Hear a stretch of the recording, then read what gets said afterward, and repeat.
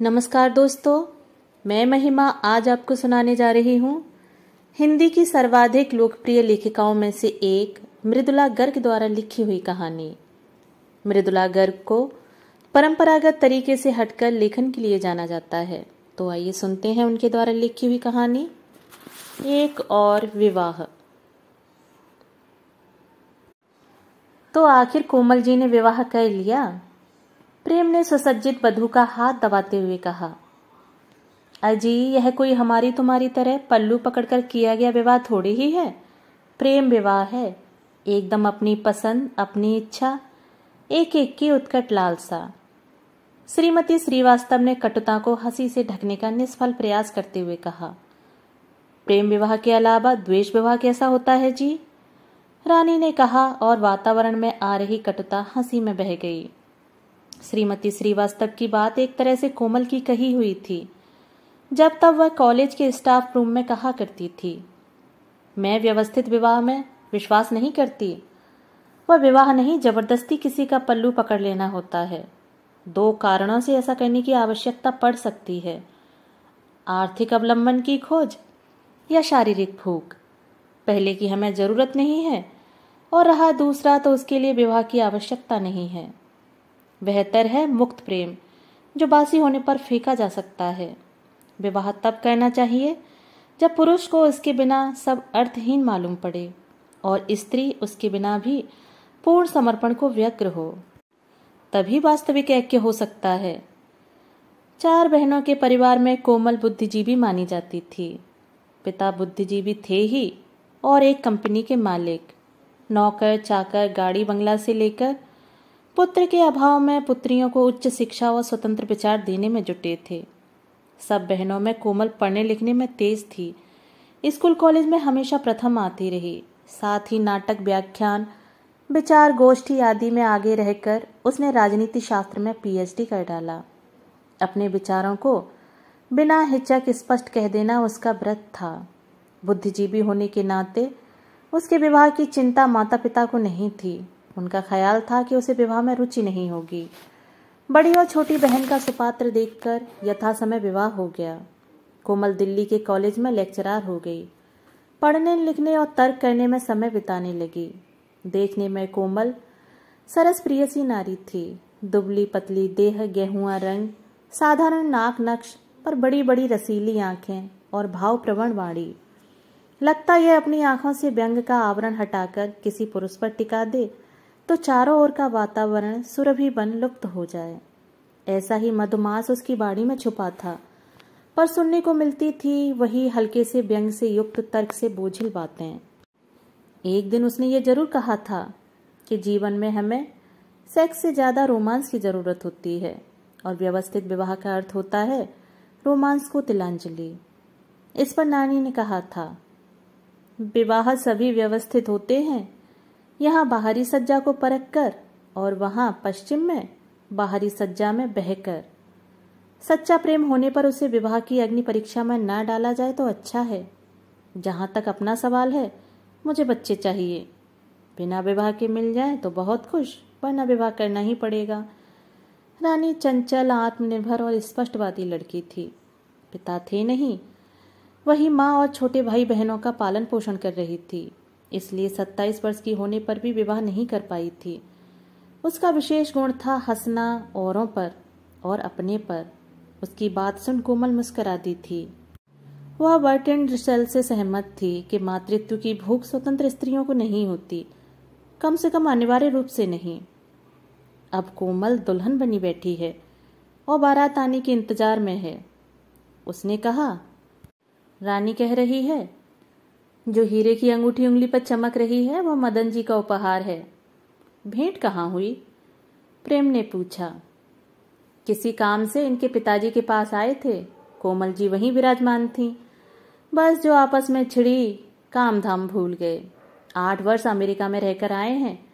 पहले सकुचाए कि भारतीय महिला से कैसे पेश आया जाए? फिर एक दिन रास्ते में भेंट हो गई। कोमल जी ने चाय पीने का सुझाव रख दिया।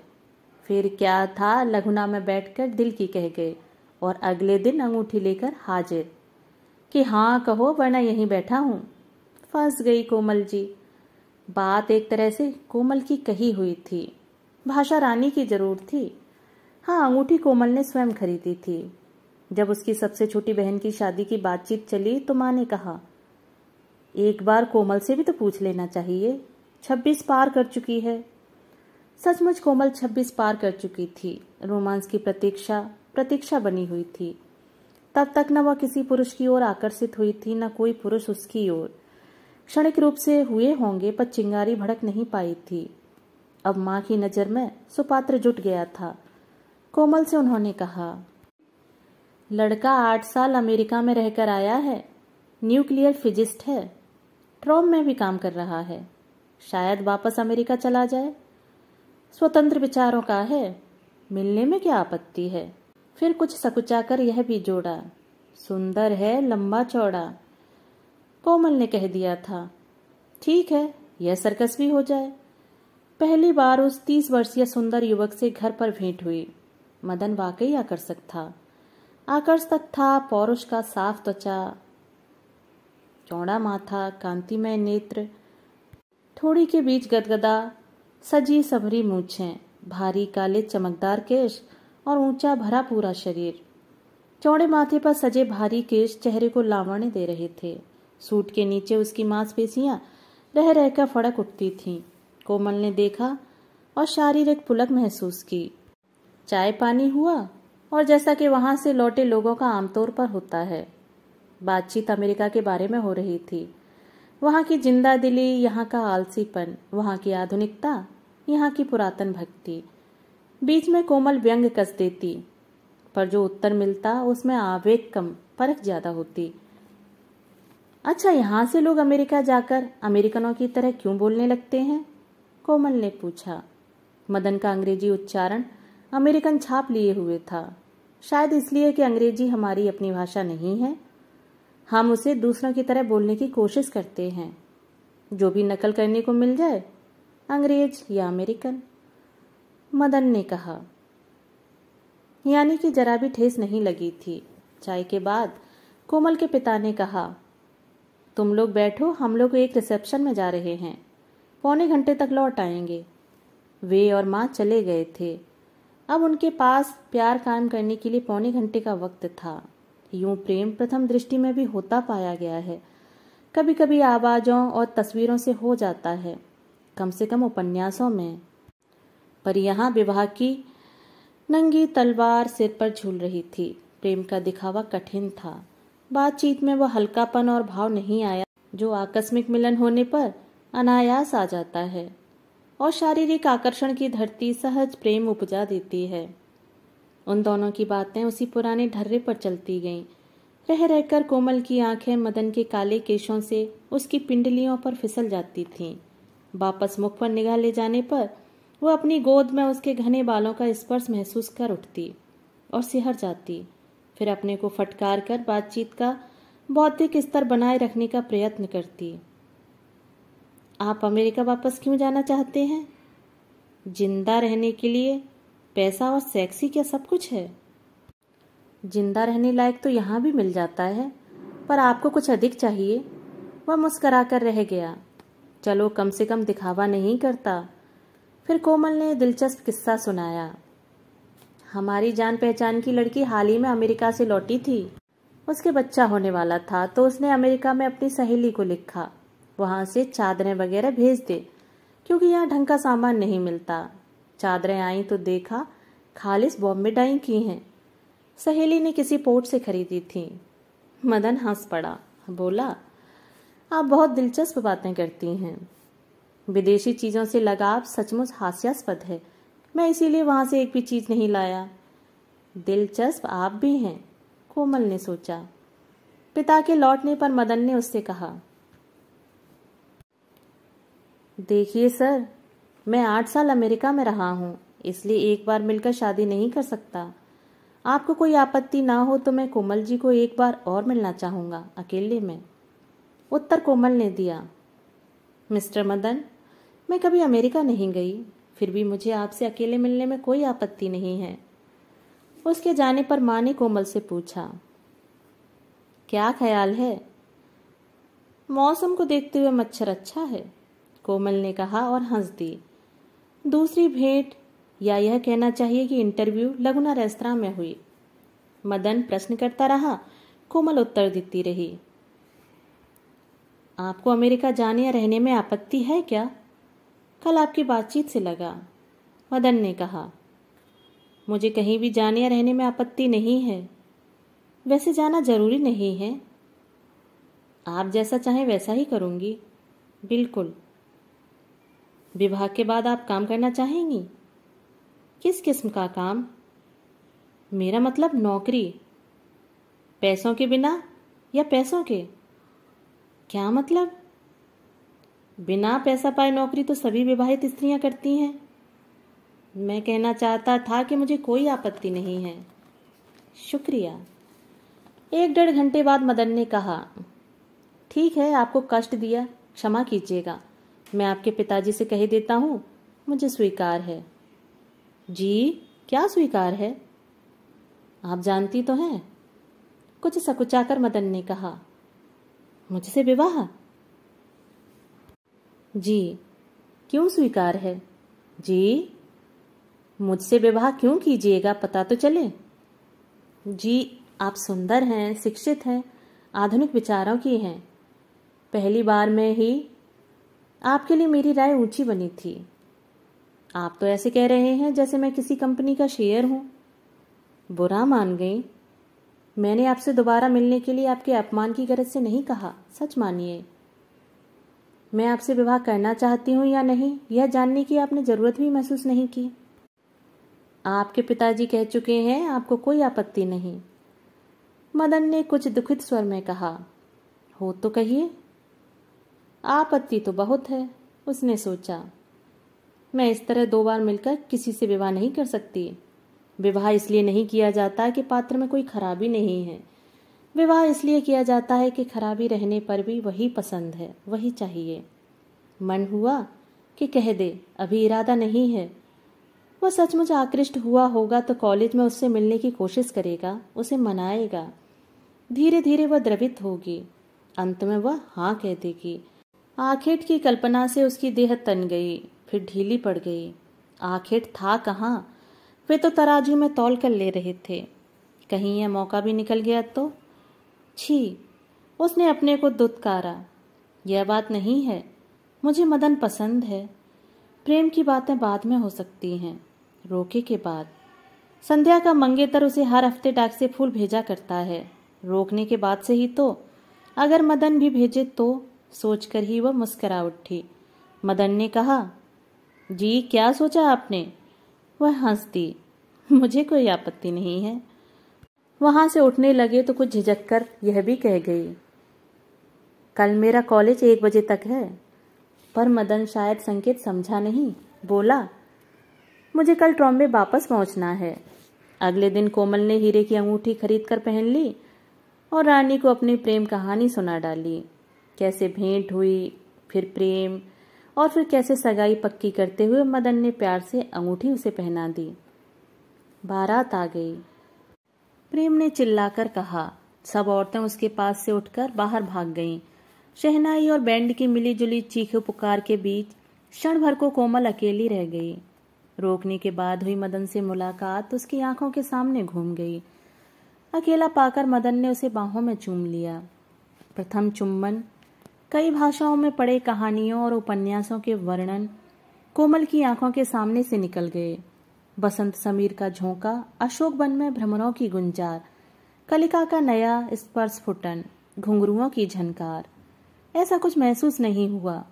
बस इच्छा हुई कि उसे ज़ोर लगाकर परे धकेल दे। उसने हाथों से मुँह ठांप लिया। मदन आकर्षक है। उसे देखकर उसके स्पर्श मात्र की कल्पना से ही वह सिहर उठती है।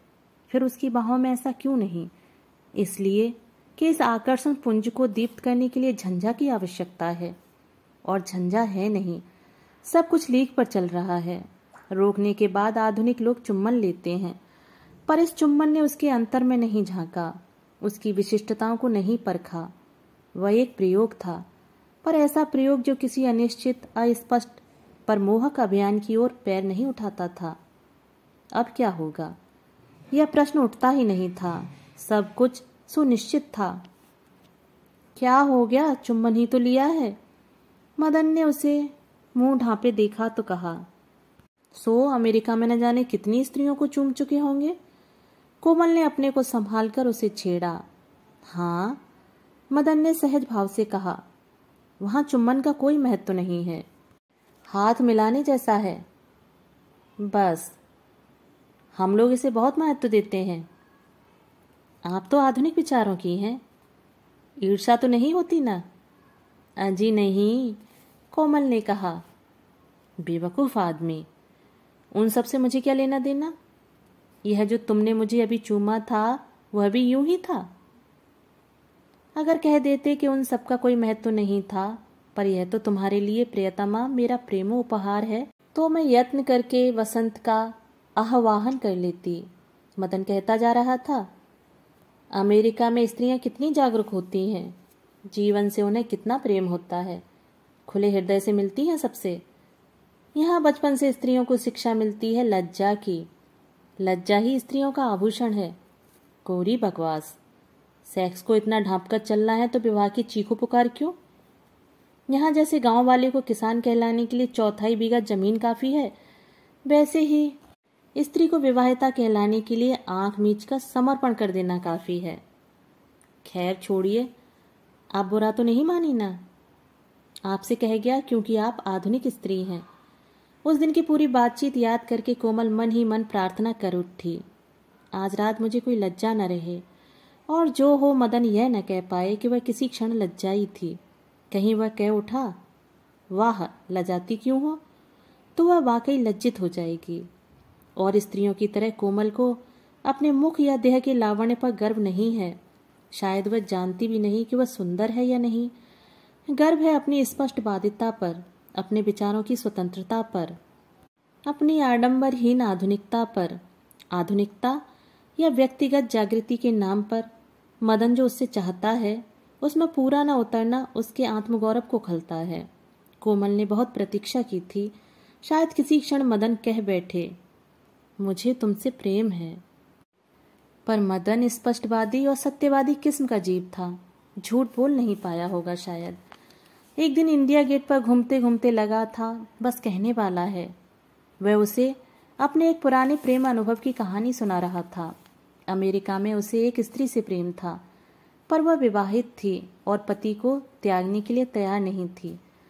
बात खत्म करके उसने कहा, खैर, अब तो बात बीत गई।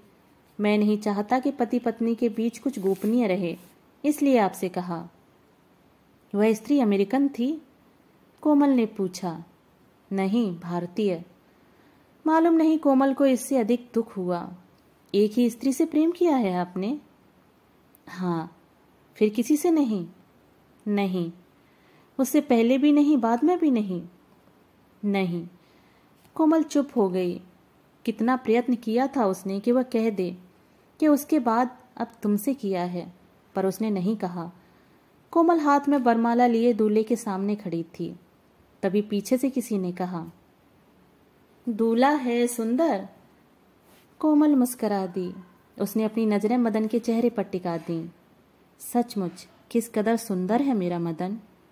उसने आँखें बंद कर ली और मन ही मन दोहराया, मैं मदन से प्रेम करती हूँ अतिशय प्रेम, अमर, अटूट, अखंड प्रेम।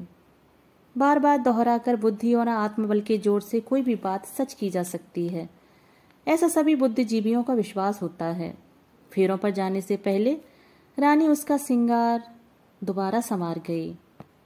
बस बीस बरस, उसने कहा, क्या? कोमल ने पूछा, तुम्हारी उम्र इससे अधिक नहीं लग रही? विश्वास योग्य बात न होने पर भी सुनने में भला लगा। अग्नि के समक्ष बैठकर कोमल ने उन विचारों को झटके से अलग कर दिया। आग के कोने से वह मदन को निरखती परखती रही। देख के उसके भारी काले केश याद आई अपनी हथेली पर उसके स्पर्श की सिहरन जो उस दिन चुम्बन के समय क्षण भर को महसूस होकर लुप्त हो गई थी। देखे उसके होठ, उसकी मूछें, कहीं पड़ा था। इटली के लोग कहते हैं दाढ़ी के बिना चुम्बन ऐसा होता है जैसे नमक के बिना अंडा। वह मुस्करा दी और मूछों के रहते याद नहीं आया। कैसा लगा था उस दिन। शायद वह बहुत हकपका गई थी। अब की बात ठीक होगा। मदन हाथ बढ़ाकर आग में घी दे रहा था। सूट के नीचे से उसके कंधे की मांसपेशियाँ तनी थीं। कोमल का मन हुआ छू कर देखे। उसकी आँखें फिसल कर उसकी पिंडलियों पर आ गईं। उसने अपने को नहीं फटकारा। यह पुरुष, यह अलौकिक ज्योति पुंज। आज रात झंझा होगी ही। अच्छा हुआ उसने मदन से अपने प्रेम का औरों को विश्वास दिलाया और स्वयं भी विश्वास करने का प्रयत्न किया। आज उसका प्रयास सफल हो गया। उसने ढेर सारा घी आग में डाल दिया। लपटें भक से ऊपर उठ गईं। बदन चौक कर पीछे हट गया। आज रात कोमल सोचती गई।